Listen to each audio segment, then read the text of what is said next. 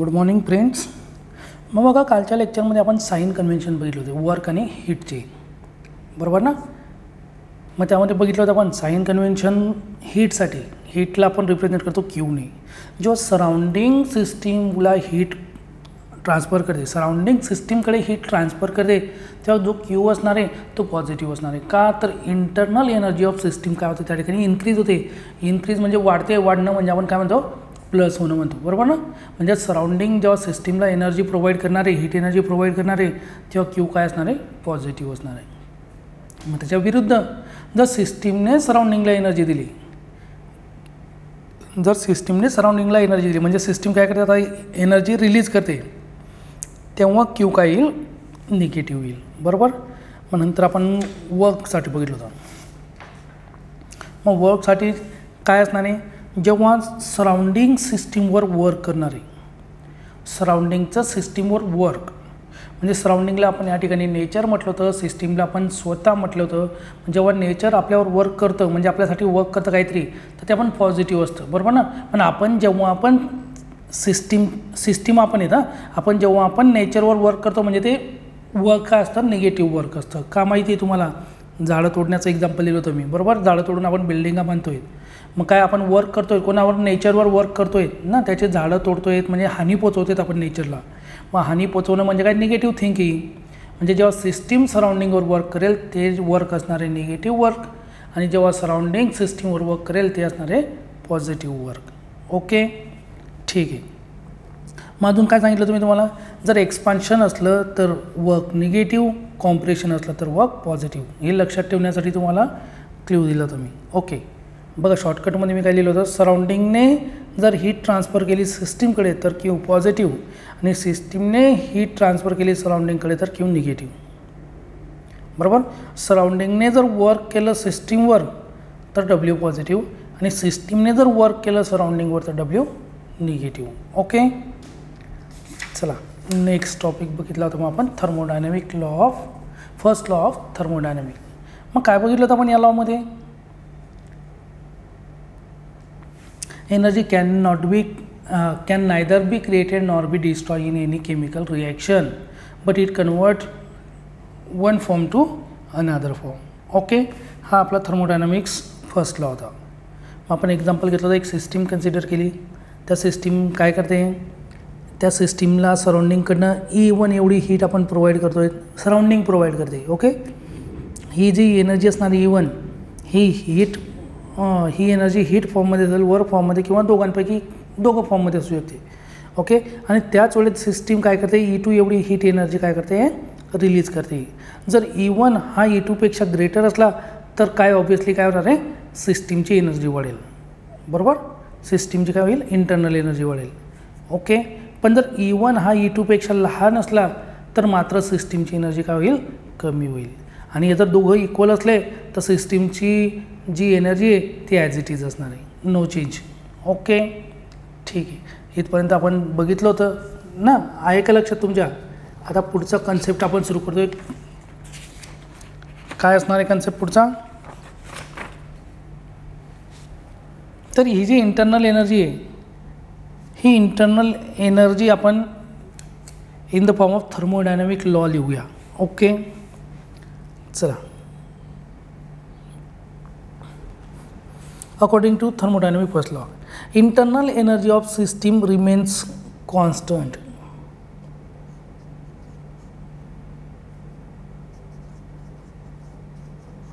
Internal energy of system energy of system remains constant.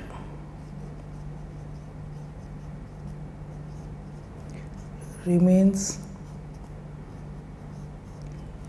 constant unless energy is transferred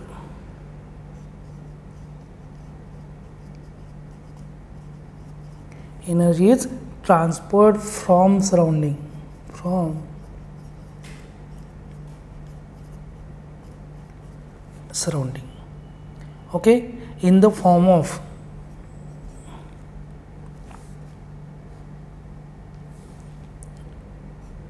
in the form of heat or work. Heat or work okay मग बघा काय म्हण म्हटलं आहे आपण या ठिकाणी? कळलं का तुम्हाला? इंटरनल एनर्जी ऑफ सिस्टीम सिस्टीमची इंटरनल एनर्जी रिमेन्स कॉन्स्टंट कशी असणार आहे रिमेन्स कॉन्स्टंट म्हणजे कॉन्स्टंट राहणार आहे ती कुठपर्यंत? Unless energy is transfer from surrounding जोपर्यंत आपण सराउंडिंगकडनं सिस्टीमला एनर्जी प्रोव्हाइड करत नाही तोपर्यंत सिस्टीमची जी इंटरनल एनर्जी आहे ती कशी राहील? कॉन्स्टंट राहील. कुठपर्यंत? जोपर्यंत सराउंडिंग सिस्टीमला एनर्जी प्रोव्हाइड करत नाही तिथपर्यंत. कळलं का? सिस्टीमची एनर्जी कॉन्स्टंट कुठपर्यंत राहील? जोपर्यंत सराउंडिंग सिस्टीमला एनर्जी प्रोव्हाइड करत नाही तोपर्यंत. कळलं? ठीक आहे. मग ही एनर्जी ट्रान्सफर सराउंडिंग करून सिस्टीमकडे होते. जेव्हा होईल तेव्हा इंटरनल एनर्जी कॉन्स्टंट राहणार नाही. आणि ही जी एनर्जी ट्रान्सफर केली जाणार आहे ती कोणत्या फॉर्ममध्ये राहील? एकतर हीट या फॉर्ममध्ये राहील किंवा वर्क या फॉर्ममध्ये राहील. बरोबर? मग आपण हेच हे जे आपण थेरी लिहिली आहे याला आपण मॅथमॅटिकली कसं लिहू शकतो बघा आपण.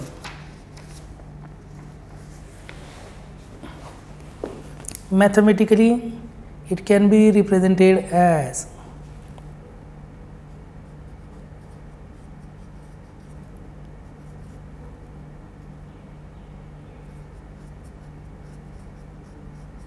mathematically, it can be represented as कशा पद्धतीने आपण लिहू शकतो बघूया. ठीक आहे ना फर्स्ट लॉ ऑफ थर्मोडायनामिक लिहितोय आपण डेल्टा यू म्हणजे internal energy is equal to Q plus W. This is nothing but our first law of thermodynamic, mathematical equation for first law of thermodynamic. Okay, equation for first law of thermodynamic. Okay थर्मोडायनामिक्ससाठी हा first law असणार first law of thermodynamics हे आपलं equation झालं. Okay ठीक आहे. मग या ठिकाणी हिअर डेल्टा यू काय असणार आहे? Internal energy internal energy of system Q काय असणार आहे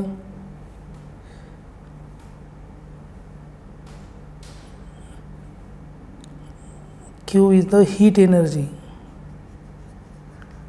heat energy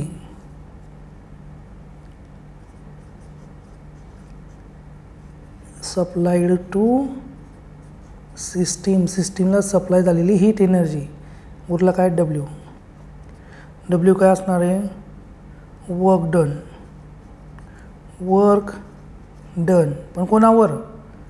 ऑन सिस्टीम म्हणजे सराउंडिंगने सिस्टीमवर केलेलं वर्क मग तुम्हाला सांगितलं जेव्हा सराउंडिंग सिस्टीमवर वर्क करते ते पॉझिटिव्ह असतं.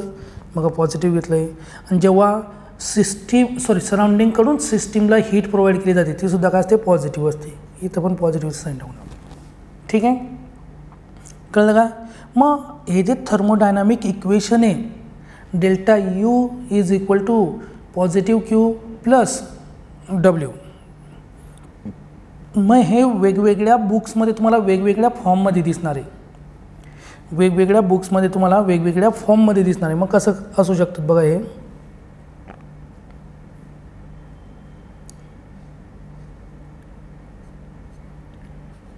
Delta U is equal to minus Q minus W बरोबर? मग या ठिकाणी काय याचा अर्थ काय क्यू आहे. म्हणजे सिस्टीमने हीट रिलीज़ केली. System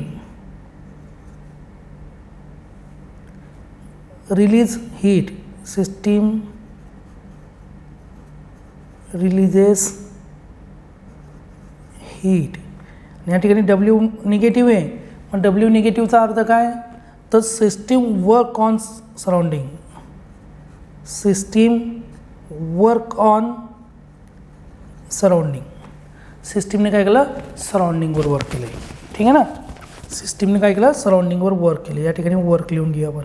W O R K system work on surrounding okay या इक्वेशनचा अर्थ. दुसरं इक्वेशन हे फर्स्ट सेकंड इक्वेशन काय? Delta U is equal to Q plus W आता इथं क्यू पॉझिटिव्ह आहे. इथं क्यू काय आहे? क्यू पॉझिटिव्ह आहे. म्हणजे काय रिप्रेझेंट करतोय तो? क्यू पॉझिटिव्ह असल्यामुळे काय रिप्रेझेंट करतो तो? Heat transfer surrounding to system heat कुठे ट्रान्सफर होते सराउंडिंग टू सिस्टीम ओके आणि इथे डब्ल्यू काय आहे? या ठिकाणी डब्ल्यू काय आहे? पॉझिटिव्ह आहे. म्हणजेच काय? सराउंडिंग वर्क ऑन सिस्टीम हा दुसरं एक्झाम्पल तिसरं अजून कसं लिहू शकतो आपण? Equation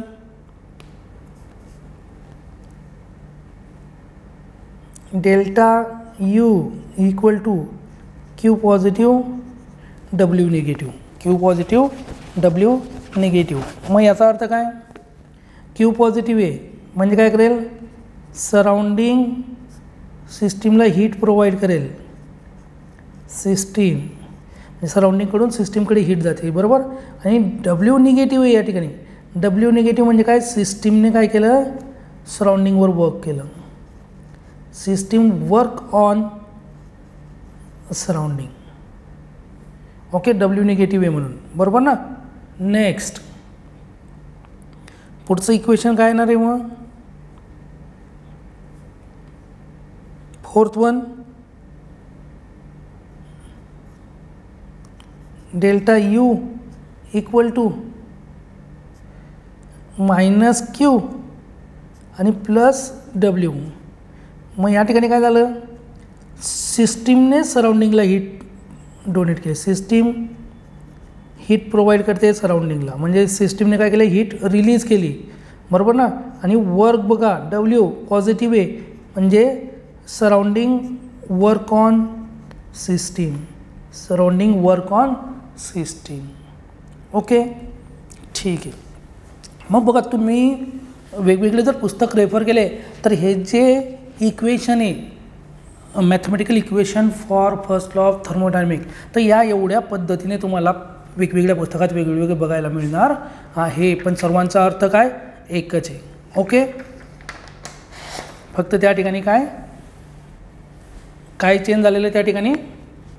हीट कोणी कोणाला दिली आणि वर्क कोणी कोणावर केलं? ह्या गोष्टी तिथं चेंज झालेल्या आहेत फक्त. पण मिनिंग सर्वांचा सेम असणार आहे. ओके? ठीक आहे. मग याच्यावरून तुम्हाला कळलं असेल आपण फर्स्ट लॉ ऑफ थर्मोडायनॉमिक्ससाठी मॅथमॅटिकल इक्वेशन किती प्रकारात बघितले? चार प्रकारात बघितले. मग याच्यावरून तुम्हाला कळलं असेल की साईन कन्व्हेन्शन किती इम्पॉर्टंट आहे. म्हणजे डब्ल्यू केव्हा निगेटिव्ह असणार आहे आणि केव्हा पॉझिटिव्ह असेल? आणि क्यू केव्हा पॉझिटिव्ह असणार आहे आणि केव्हा निगेटिव्ह असणार आहे? म्हणजे डब्ल्यू पॉझिटिव्ह येतं त्यावेळेस क्यू निगेटिव्ह असेल का? आणि क्यू निगेटिव्ह येतं त्यावेळेस डब्ल्यू पॉझिटिव्ह असेल का? ह्या गोष्टी सर्व केव्हा कळणार तुम्हाला? आपलं जे मागच्या लेक्चर झालेलं आहे साईन कन्व्हेन्शन ते जर तुम्हाला व्यवस्थितरित्या समजलं असेल तर तो कन्सेप्ट क्लिअर होईल. ओके नाही समजलं असेल पुन्हा मी एक वेळेस सांगतो. आपण अगोदर वर्कबद्दल बोलूया आपण. मग वर्क डब्ल्यू डब्ल्यू केव्हा पॉझिटिव्ह असेल? जेव्हा सराउंडिंगने सिस्टीमवर वर्क केलं जेव्हा सराउंडिंगने सिस्टीमवर वर्क केलं तर त्या ठिकाणी डब्ल्यू पॉझिटिव्ह असेल. सराउंडिंगने जर सिस्टीमवर वर्क केलं तर डब्ल्यू पॉझिटिव्ह असेल. मग सराउंडिंग सराउंडिंग काय करते? सिस्टीमवर वर्क करते. सराउंडिंग काय करते? सिस्टीमवर वर्क करते. म्हणजे P external greater than P internal म्हणजे बाहेरील प्रेशर हा आतील प्रेशरपेक्षा जास्त आहे. म्हणजे काय होईल? त्या ठिकाणी कॉम्प्रेशन होईल.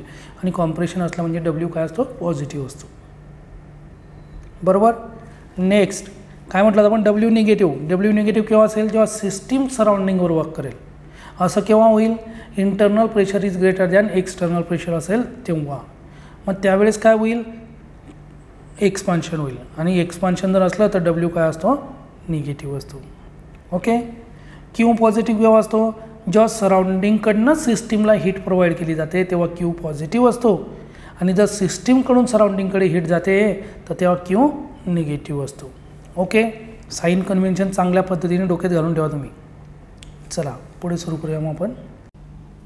ओके हे वेगवेगळे इक्वेशन बघितले आपण. मग थर्मोडायनामिकचं इक्वेशन फर्स्ट लॉ ऑफ थर्मोडायनामिकसाठी आपण इक्वेशन काय लिहिलं?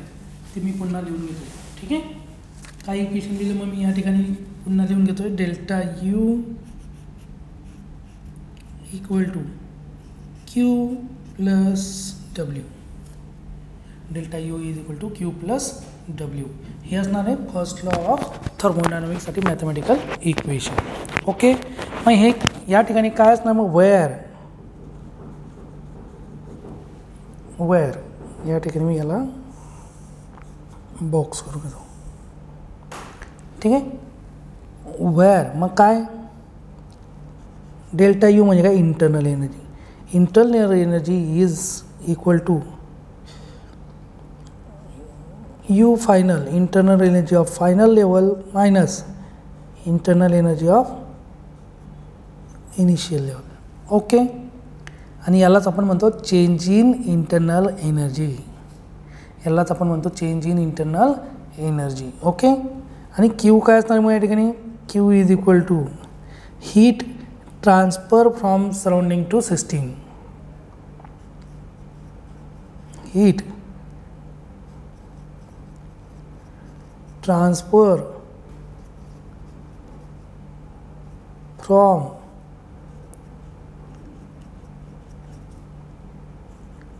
surrounding to system. कोणी दिली? सराउंडिंगने दिली. कोणाला दिली?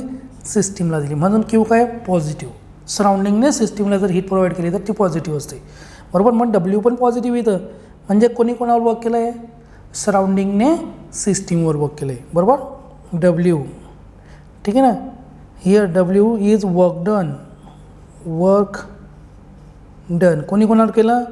Work done on system work done on system okay ठीक आहे. मग हे इक्वेशन जे आपण बघितले आहेत मग याच्यावरून तुम्हाला आता काय करायचे आहेत? सम सॉल्व करायचे आहेत. ओके चला मग बघूया आपण प्रॉब्लेम फर्स्ट फ़र्स्ट ओके काय प्रॉब्लेम आहे? Calculate the change in internal energy of system calculate change in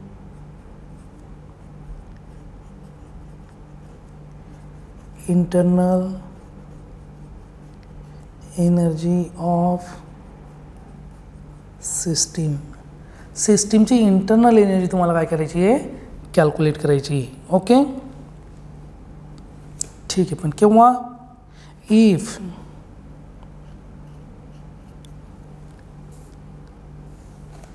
three hundred joule of work is done on the system three hundred joule of work is done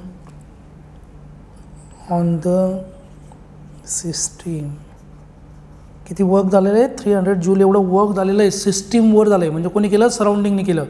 okay म्हणजेच या ठिकाणी W काय येईल? Positive and five hundred joule heat is withdrawn from it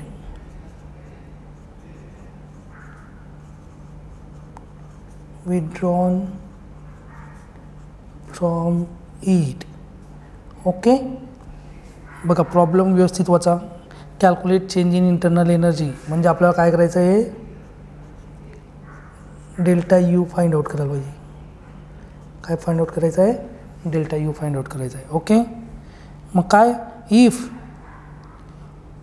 three hundred joule of work is done on the system म्हणजे work W दिलेला आहे तुम्हाला W okay किती येतो? थ्री हंड्रेड जूल किती येतो? थ्री हंड्रेड जूल मग पॉझिटिव्ह का निगेटिव्ह मग तुम्हाला सांगितलं जर सराउंडिंगने सिस्टीमवर वर्क केलं तर ते पॉझिटिव्ह असतं. आणि सिस्टीमने जर सराउंडिंगवर केलं तर ते निगेटिव्ह असतं. मग या ठिकाणी कोणी कोणावर केलं आहे तर या ठिकाणी बघा. Of work is done on on the system म्हणजे कोणावर? ऑन सिस्टीम म्हणजे सिस्टीमवर वर्क झालं आहे म्हणजे कोणी केलं? सराउंडिंगने सिस्टीमवर केलं. म्हणजे या ठिकाणी डब्ल्यू काय असणार आहे? पॉझिटिव्ह असेल. ओके नेक्स्ट आता पुढे काय दिलं आहे फाईव्ह हंड्रेड जूल हीट म्हणजे क्यू दिलेलं आहे तुम्हाला. क्यू इज इक्वल टू काय दिलेलं आहे? फाईव्ह हंड्रेड जूल मग पॉझिटिव्ह का निगेटिव्ह बघू आपण. Is withdrawn from heat withdraw म्हणजे निघालेली आहे. कोणाकडून? सिस्टीमकडून म्हणजे सिस्टीम काय करते? हीटला रिलीज करते. म्हणजे सिस्टीम हीट देते सराउंडिंगला मग जर हीट सराउंडिंगने सिस्टीमला दिली तर पॉझिटिव्ह असते आणि सिस्टीमने सराउंडिंगला दिली तर निगेटिव्ह असते. म्हणजे या ठिकाणी क्यू काय येणार आहे? निगेटिव्ह येणार आहे. क्यू काय येईल? निगेटिव्ह येईल. ओके कळतं आहे कळतं आहे का? ठीक आहे. मग चला आपल्याला फॉर्म्युला माहिती आहे. वी हॅव द फॉर्म्युला काय फॉर्म्युला आहे आपल्याकडे? Delta U equal to Q plus W okay this is the first law of thermodynamic चला मग फॉर्म्युला आपल्याला भेटलेला आहे व्हॅल्यूज आपल्याला माहिती आहेत. मग ज्या व्हॅल्यू आपल्याला दिलेल्या आहेत त्या काय करायच्या आहेत? फॉर्म्युल्यामध्ये पुट आउट करायच्या आहेत बरोबर? There per W E U equal to Q? काय निगेटिव्ह आहे बरोबर? म्हणजे मायनस फाईव्ह हंड्रेड डब्ल्यू काय आहे पॉझिटिव्ह आहे that is plus three hundred okay joule joule cancel होऊन जाईल. ठीक आहे. मग आता काय हो- काय भेटणार आहे मग आपल्याला? डेल्टा यू काय असणार आहे मग? Delta U is equal to minus five हंड्रेडमधून three hundred कमी करायचे आहेत. किती होतील मग? Minus two hundred joule energy ठीक आहे ना? म्हणजे एनर्जी काय झाली आहे सिस्टीमची? कमी झालेली. म्हणजेच काय केलं आहे सिस्टीमने एनर्जी काय केली? लॉस्ट केली. सिस्टीमने एनर्जी काय केली? लॉस्ट केली. बरोबर? मग तुम्हाला एक डायग्रॅम ड्रॉ करून दाखवली होती मी माहिती का? कोणती डायग्रॅम? या ठिकाणी मी ड्रॉ करून दाखवतो.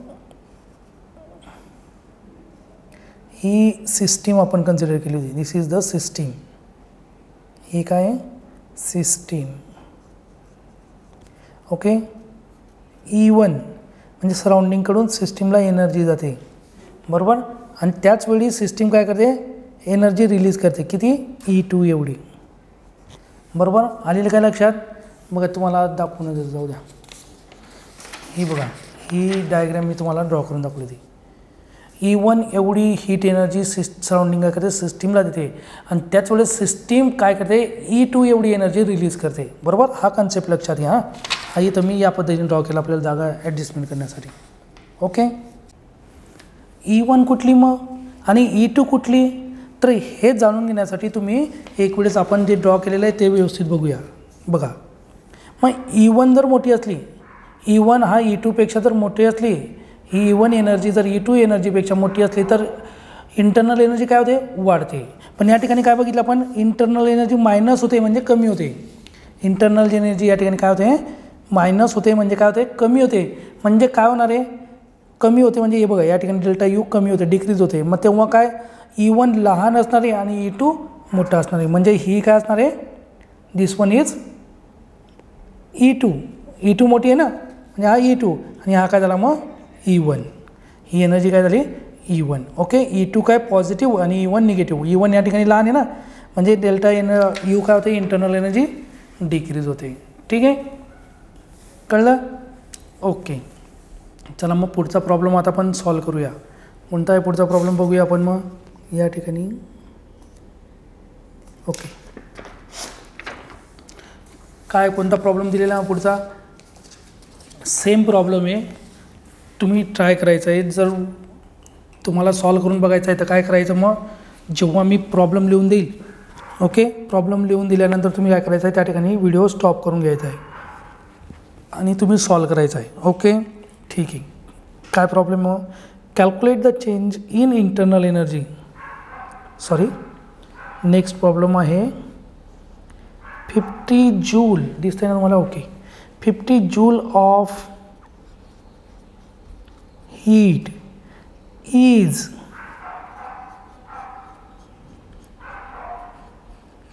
supplied to a system. म्हणजे हीट कोण कोणाला देत आहे? सराउंडिंग देत आहे सिस्टीमला ओके सप्लाय टू सिस्टीम म्हणजे कोणाकडून सप्लाय झाली? सराउंडिंगकडनं सराउंडिंगकडनं कुठं जाते? सिस्टीमकडे ओके तेव्हा काय करायचं मग? Calculate the work done. The work done. मग त्यानंतर काय करायचं? Calculate the work done if internal energy of the system if the internal energy of the system internal energy of the system काय होणार आहे? Increases by increases by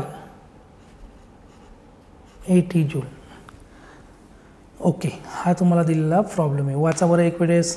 वाचून समजून जाईल तुम्हाला काय करायचं आहे ठीक आहे मी वाचून दाखवतो. Fifty joule of heat is supply to system या ठिकाणी गिवन लिहून घेतो आम्ही. Given. Fifty joule of heat. Heat म्हणजे काय? इक्वल टू काय दिलेलं fifty joule. Is supplied to system म्हणजे सराउंडिंगने सिस्टीमला दिली. सराउंडिंगने सिस्टीमला जर हीट दिली, तर ती कशी असते? पॉझिटिव्ह असते. बरोबर? ठीक आहे. Next calculate the work done W is equal to what W is equal to what question मागे if the internal energy of system increases by 80 joule increases by म्हणजे डेल्टा यू दिलेला आहे तुम्हाला इन्क्रीज झाली म्हणजे पॉझिटिव्ह किती? Eighty joule increase झाली म्हणजे पॉझिटिव्ह किती असणार आहे तो? एटी जूल असणार आहे. ओके चला मग आपल्याला फॉर्म्युला माहिती आहे. माहिती आहे ना फॉर्म्युला फॉर्म्युला काय फॉर्म्युला आपल्याकडे? Delta U equal to Q plus W ठीक आहे? आपल्याला फाइंड आउट काय करायचं आहे? डब्ल्यू फाइंड आउट करायचं आहे. ठीक आहे? मग डब्ल्यू इकडेच राहू द्या. हा क्यू पॉझिटिव्ह आहे. तिकडे गेल्यावर काय होऊन जाईल? निगेटिव्ह होऊन जाईल. बरोबर ना? ठीक आहे. मग काय भेटेल आपल्याला? W is equal to delta U minus Q हा आपलं इक्वेशन तयार झालं. बरोबर? मग व्हॅल्यू पुट आउट करा. W is equal to delta यूची value किती आहे? एटी जूल बरोबर?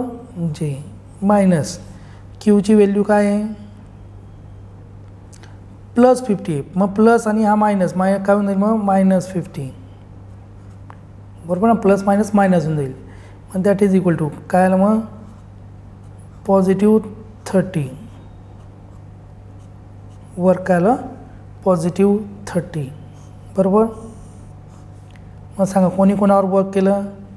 या ठिकाणी डब्ल्यू इज पॉझिटिव्ह बरोबर? काय आहे? डब्ल्यू पॉझिटिव्ह आहे.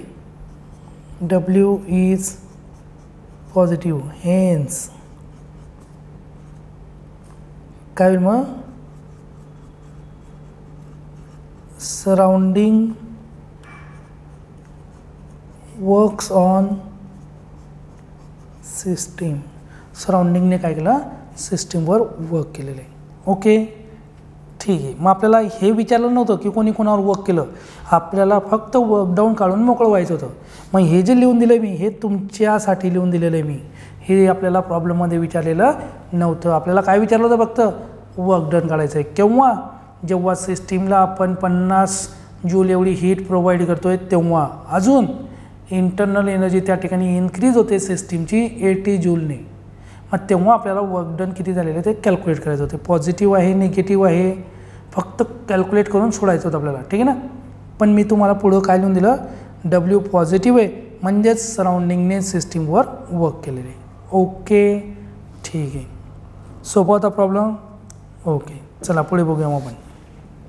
मग आपला नवीन टॉपिक आज सुरू करतो आपण reversible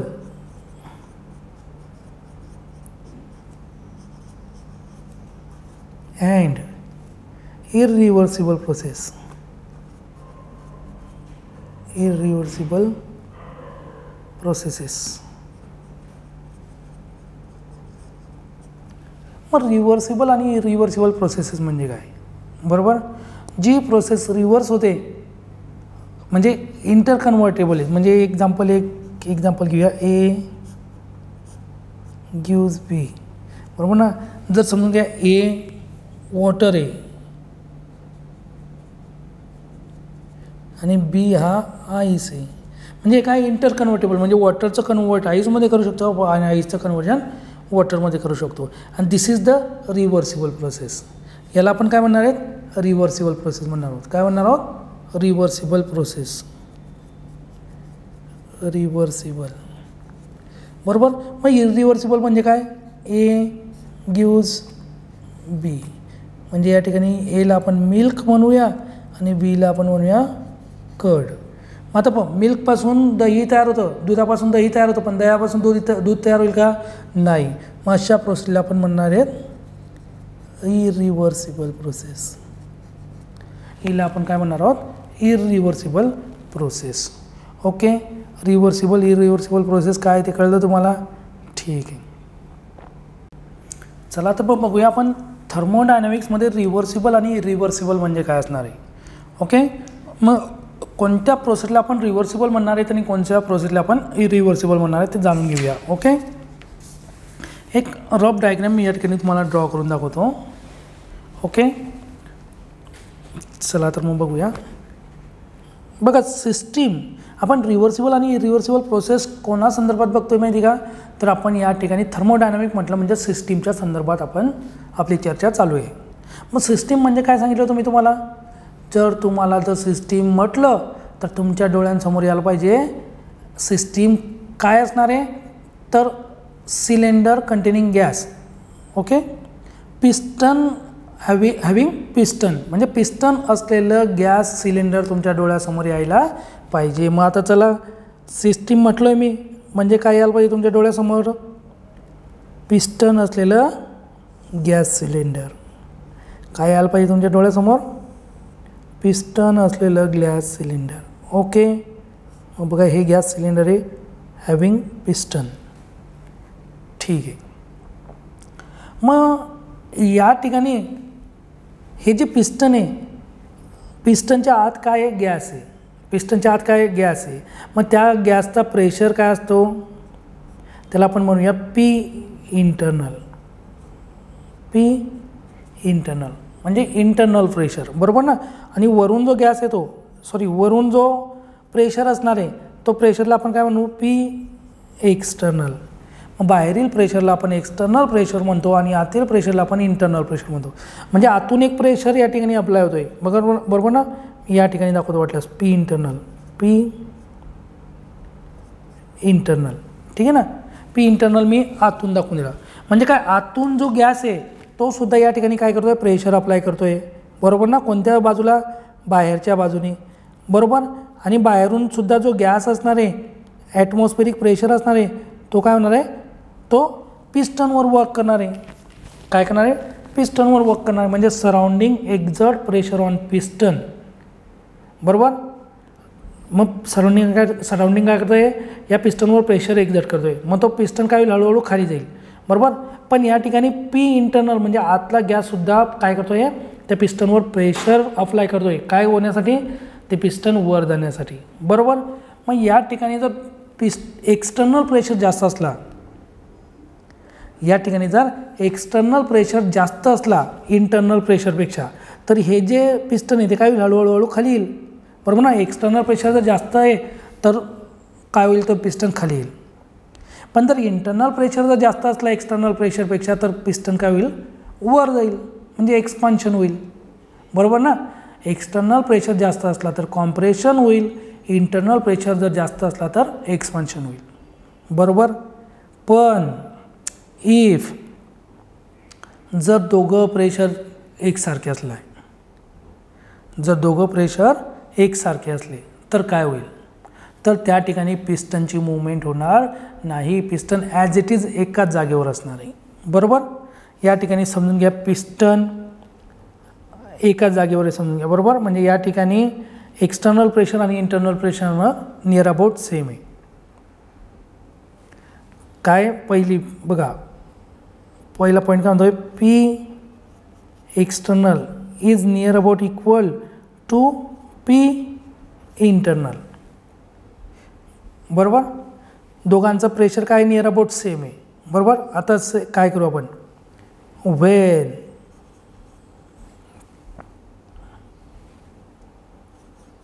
we kept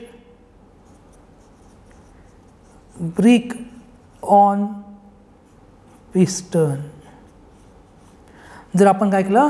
पिस्टनवर ब्रिक ठेवून दिली. या ठिकाणी काय ठेवली? ब्रिक्स.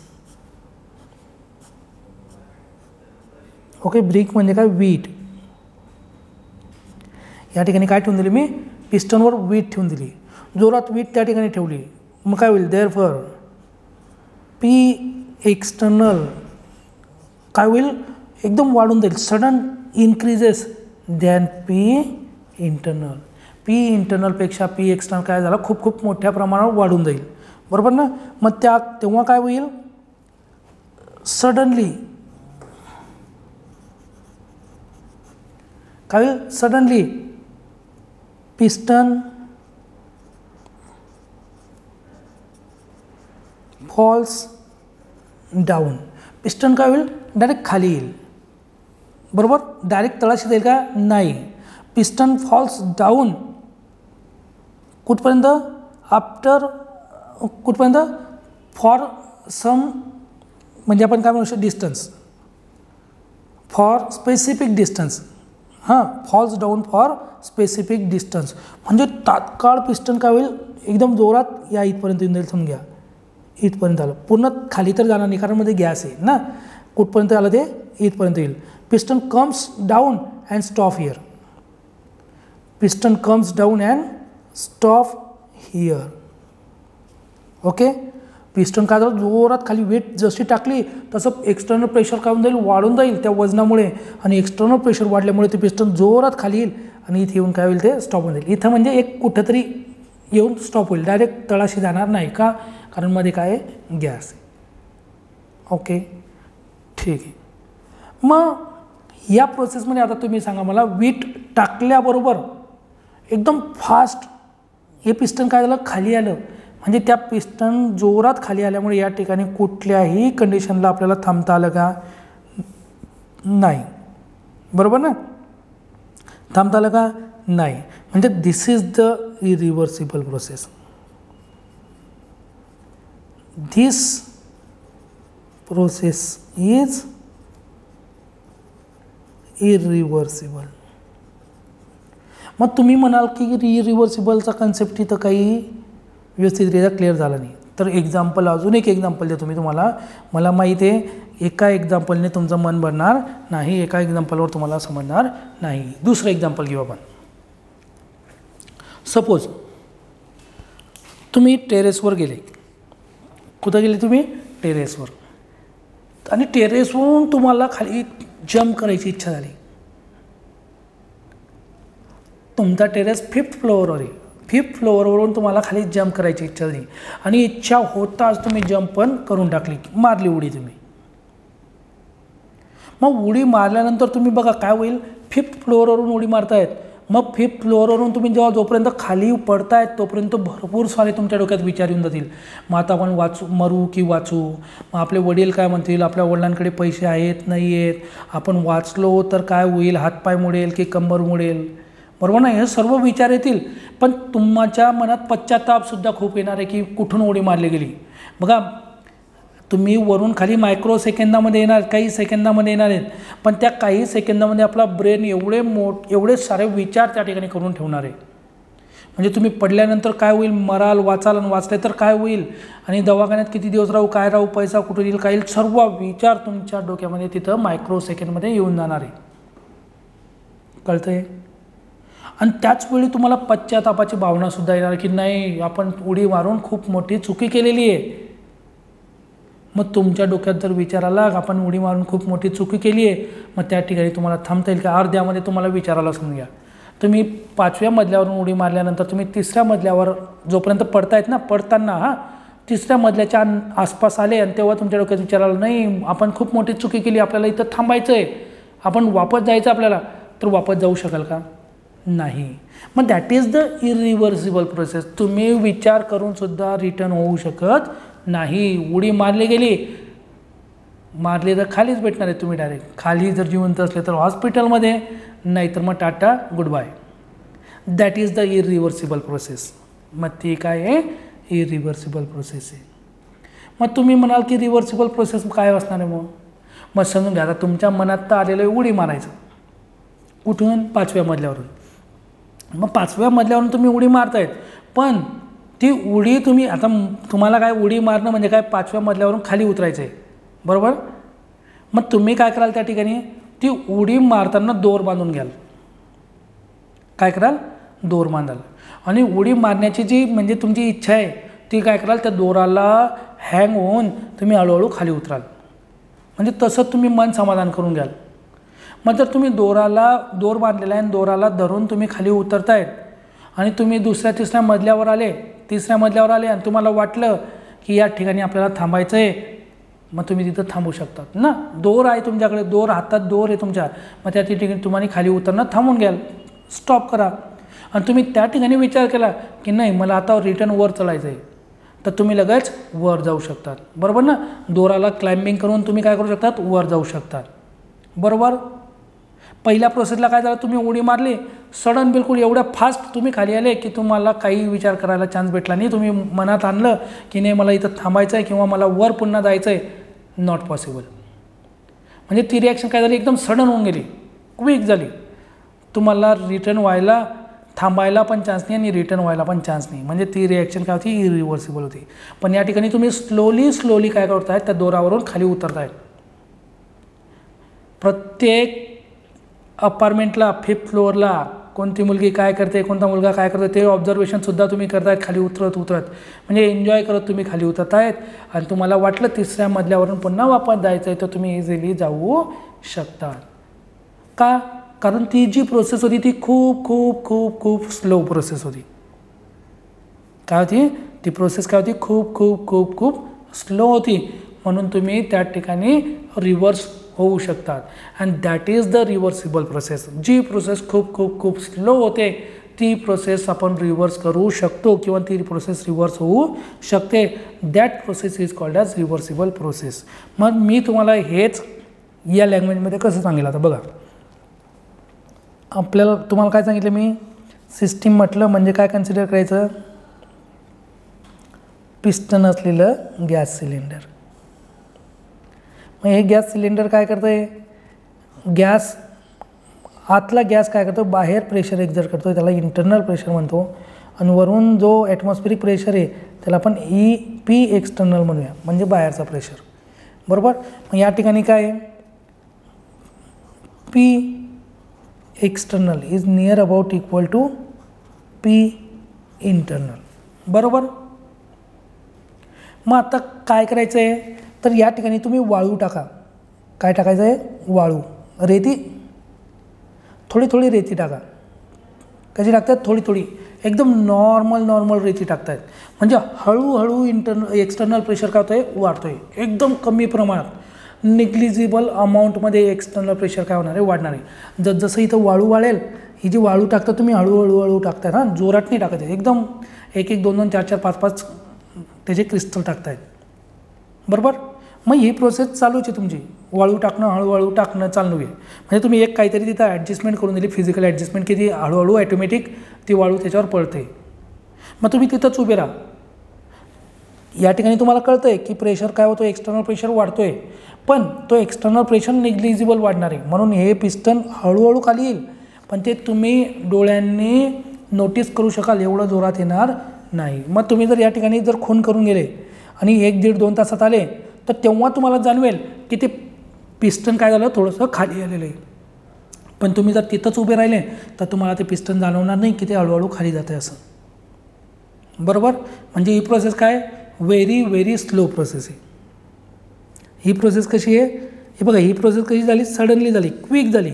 सडनली म्हणा क्विक म्हणा क्विक म्हणा किंवा फास्ट म्हणा. पण ही प्रोसेस कशी ही प्रोसेस कशी होईल? स्लोली स्लोली ते पिस्टन काय होईल? खाली येईल. स्लोली स्लोली खाली होईल. बरोबर ना? आणि जी प्रोसेस स्लोली स्लोली होते ती प्रोसेस आपण काय म्हणणार आहोत? त्या प्रोसेसला आपण काय म्हणणार आहोत? रिव्हर्सिबल प्रोसेस त्या प्रोसेसला काय म्हणणार आहे आपण? रिव्हर्सिबल प्रोसेस म्हणजे हे जे स्लोली स्लोली आहे नाही हे बघा हे स्लोली स्लोली खाली येतं आहे बरोबर? मग तुम्हाला वाटलं की या ठिकाणी स्टॉप करायचं आहे या ठिकाणी काय करायचं तुम्हाला स्टॉप करायचं आहे you want to here stop मग तुम्ही काय कराल? तो जो फ्लो ऑफ सँड आहे तो थांबवून द्या. थांबले तुम्ही तिथं. रिटर्न यायचं आहे हळूहळू ती रेती काढा. हळूहळू थोडी थोडी रेती काढा. तर रेती जर काढली ती वाळू जर काढली तर इंटरनल प्रेशर ॲटोमॅटिक वाढेल. इंटरनल प्रेशर वाढला म्हणजे हळूहळू काय होईल ते पिस्टन त्याच्या ओरिजिनल पोझिशनला चालू जाईल. And this is nothing but our reversible process बरोबर? म्हणजे रिव्हर्सिबल प्रोसेसमध्ये काय असणार आहे मग? पी एक्सटर्नल आणि पी इंटरनल हा काय असणार आहे? नियर अबाउट इक्वल असणार आहे. पण इरिव्हर्सिबल प्रोसेसमध्ये काय असणार आहे? पी एक्सटर्नल हा खूप खूप खूप वाढून जाणार आहे पी इंटरनलपेक्षा म्हणून ती रिॲक्शन कशी घडून येते? सडनली घडून येते. आणि ते जे पिस्टन आहे ते क्विक खाली डाऊन होणार आहे. पिस्टन फॉल्स डाऊन क्विकली आणि त्याच प्रोसेसला आपण म्हणणार आहेत इरिव्हर्सिबल कळलं मग रिव्हर्सिबल आणि इरिव्हर्सिबल प्रोसेस मग याचा जो अजून कन्सेप्ट जो पुढचा आहे तो आपण आपल्या नेक्स्ट लेक्चरमध्ये बघूया. आपण या ठिकाणी आज थांबतो थँक्यू